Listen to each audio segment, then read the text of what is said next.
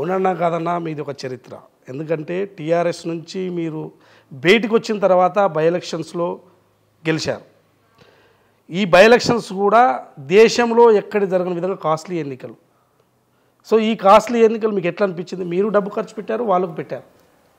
ఇది unfortunate thing నేను అసలు ప్రజాస్వామ్యంలో ఓటు హక్కుకు వెలగట్టడం అనేది ఒక నీచమైన అంటే ప పరాకాష్ట అన్నట్టుగా పతనానికి పరాకాష్ట ఓటుకు నోటు. ప్రజాస్వామ్య పతనానికి పరాకాష్ట నాయకులకు వెలగట్టే పద్ధతి. సర్పంచ నిగ్గింత ఎంపీటీసా నిగ్గింత నీకు నీకు వంద ఓట్లు ఉన్నాయా నీకింత అని వెలగట్టేటువంటి పద్ధతి నాకు తెలిసి దేశం మొత్తంలో బరిదెగించి బయటికే నాకు పైసలు రాలే పైసలు వస్తేనే ఓటు వేస్తాం.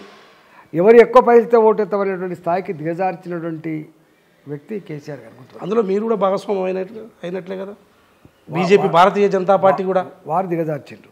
వారు దిగజార్చిండ్రు. మీ పాత్ర ఉన్నట్లే కదా? ఆ దాడికి తట్టుకునే క్రమంలో ఆ డబ్బు దాడికి ఆ దుర్మార్గాలకి ఆ ప్రలోభాలకి తట్టుకొని నిలబడేటువంటి ఎత్తుగడలలో మేము ఉండొచ్చు కానీ మేము ఎక్కడ కూడా వాటిని నమ్ముకొని పోలే. మేము డబ్బు నమ్ముకునడం కాదు మద్యాన్ని నమ్ముకునడం కాదు అప్పటికప్పుడు ఫాల్స్ ప్రామిస్ చేసేటోళ్ళం కూడా కాదు.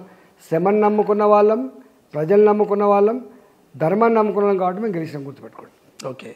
సో మీరు గెలిచిన తర్వాత ఈ చేరికల కమిటీ మీకు సంతృప్తి ఇచ్చిందా? పర్వాలేదా? ఇప్పుడు బాగుందా ఈ పోస్టు? ఉన్నంతలో బాగున్నది.